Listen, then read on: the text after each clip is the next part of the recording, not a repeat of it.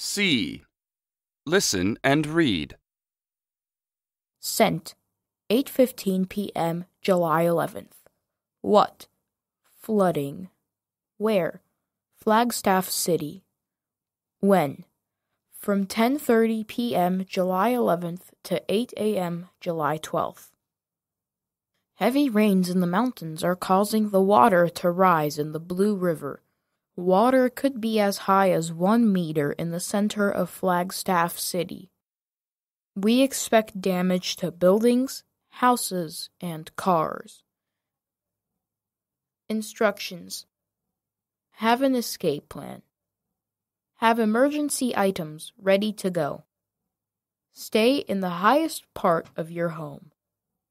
Move food and important things to the highest part of your home. Do not walk or drive into the floodwater. Board up your lower windows. Watch local TV or listen to the radio for more information and instructions. Be prepared to leave your home and follow your escape plan.